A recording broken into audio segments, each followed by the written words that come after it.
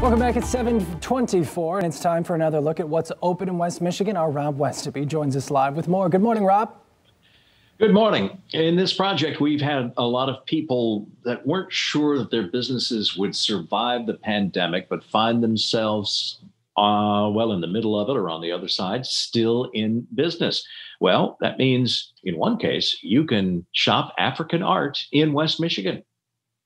The name of the store is Amazwi Contemporary Art. Amazwi is a Zulu word. It means voices. So what we're doing here at Amazwi is we're giving voice to African artists from around the continent here in southwest Michigan. I had started coming to Saugatuck about 25 years ago, and we have a strong reputation as the art coast of Michigan. I said, why don't we open an African art gallery in Saugatuck because there's nothing quite like it. When I worked at an ad agency in Chicago, two women started to do African exhibitions. And the colorful, vibrant work that was being done, the contemporary art coming out of Africa, the paintings and the sculpture um, really have a contemporary feel to them. We've traveled over the last 17 years to 20 different countries.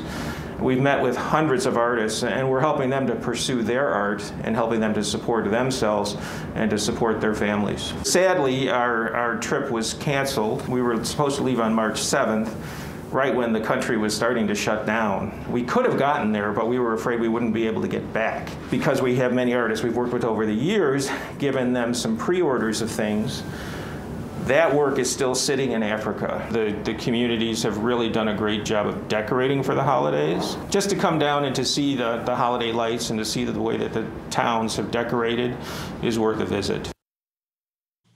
Amazwi Contemporary Art is in downtown Saugatuck with unique gift ideas, obviously, made by African artists. Now, the website is amazwionline.com. That is A M A Z W I online com. Our list grows with businesses that are open in West Michigan. Take a look at the list in our previous reports at fox17online.com slash open. I'm Rob Westoby.